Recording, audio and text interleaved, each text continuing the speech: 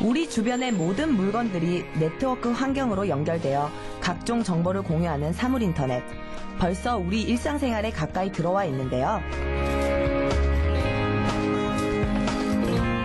손목에 찬 시계로 메시지를 확인하고 자신의 건강 상태를 체크하는 모습은 이제 더 이상 낯설지 않으시죠?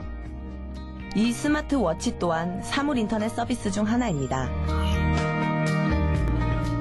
평소에 친구와 대화를 하듯 일상 언어로 가전제품과 대화가 가능하다고 하는데요. 집안 내부가 너무 덥잖아요.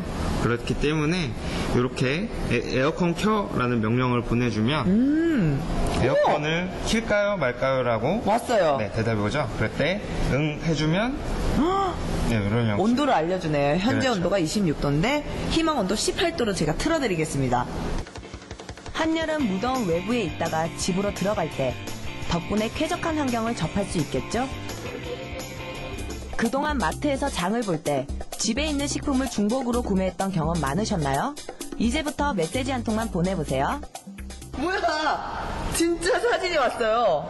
칸칸별로 보이세요, 지금? 헉, 이거 말도 안 돼, 진짜. 가정기기에만 인터넷을 연결하는 것이 아닙니다.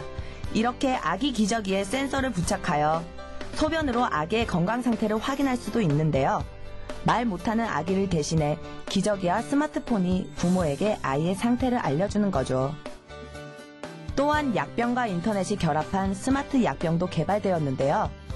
꾸준히 약을 복용해야 하는 환자에게 제때 약을 챙겨 먹을 수 있도록 시간별로 알람을 해주면서 건강을 관리해 주는 겁니다.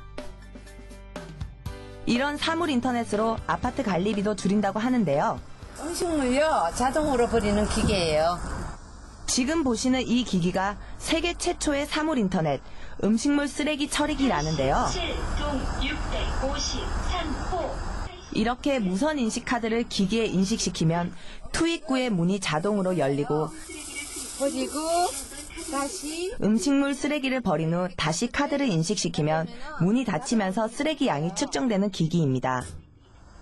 개별 등록된 무선 인식 카드를 이용하여 음식물 쓰레기를 버리고 버린 만큼 합리적으로 관리비를 청구하니 집집마다 음식물 쓰레기 배출량도 줄어들었다고 하는데요. 기기에 장착된 관제 시스템을 통해 기기 상태를 모니터링하고 탈취제 분사 또한 원격 제어할 수 있는데요. 이로써 더욱 위생적인 관리가 가능해지겠죠?